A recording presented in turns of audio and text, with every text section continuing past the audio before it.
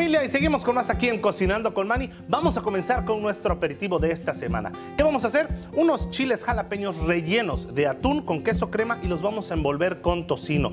Riquísimos y nuevamente muy fáciles de hacer por si tiene usted familia, amigos que llegan a ver el fútbol y todos los ingredientes, usted es muy sencillo que los tenga en su cocina. ¿Qué vamos a necesitar? Chiles jalapeños, muy importante, tiene que ser jalapeño grande. Vamos a necesitar queso crema, vamos a necesitar atún, tocino. Yo utilizo el tocino que es un poquito más grueso. De esta manera tiene un poquito más de sabor.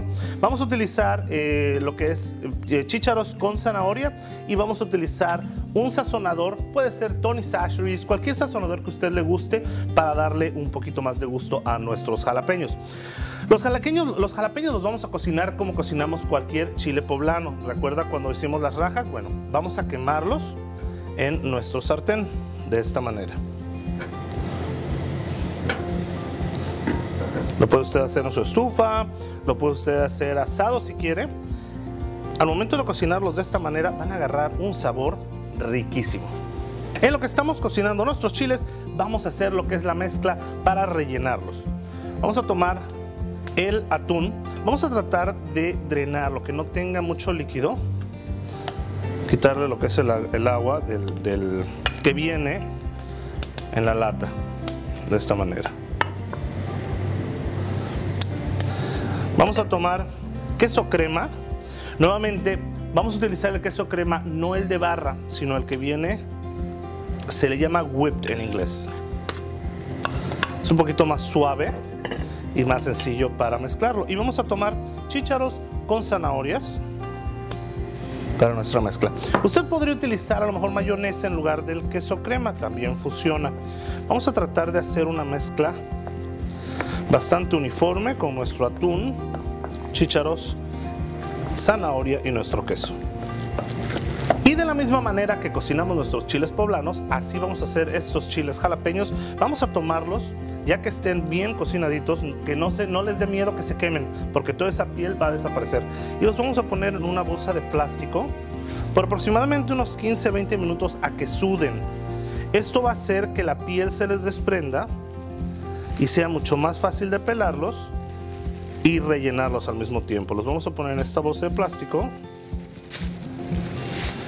Y luego es importante el que lo pongamos en algún tipo de toallita y esto nos va a ayudar a mantenerlo caliente y a que suden. Los vamos a dejar por aproximadamente unos 10-15 minutos y luego los vamos a pelar y los vamos a rellenar.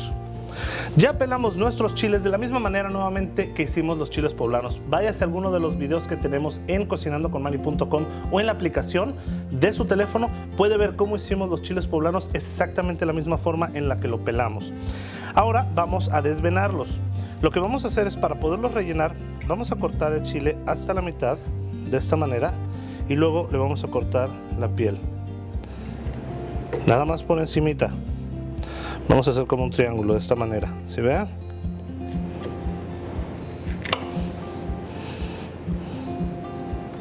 Así.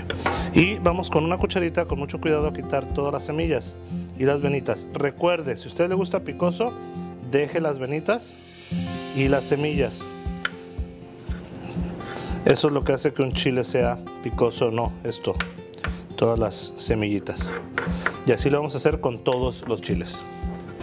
Ahora vamos a rellenar nuestros chiles. Vamos a agarrar un tocino.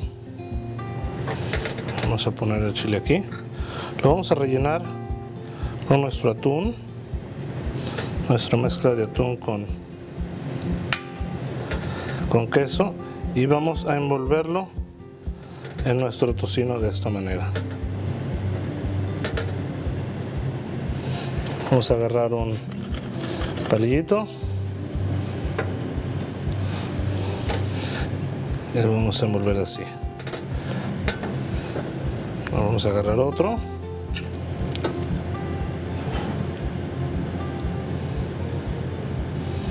De esta manera. la rebanada de tocino.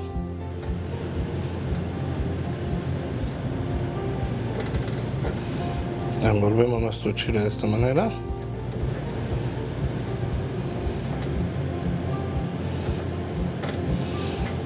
Un palillo.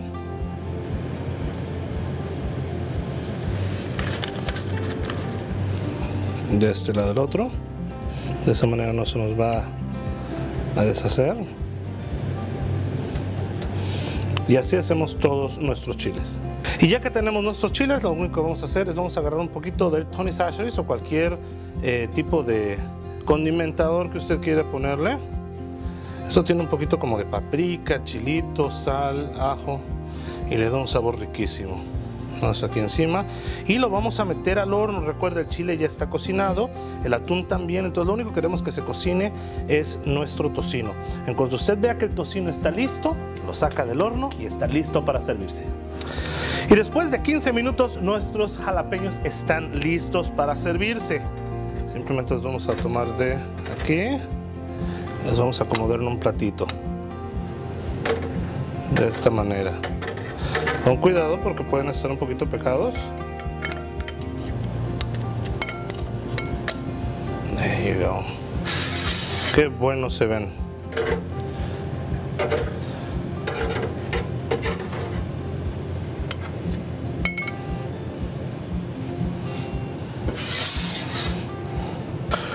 Los servimos con un poquito de aderezo de su preferencia y así tenemos nuestros jalapeños rellenos de atún envueltos con tocino.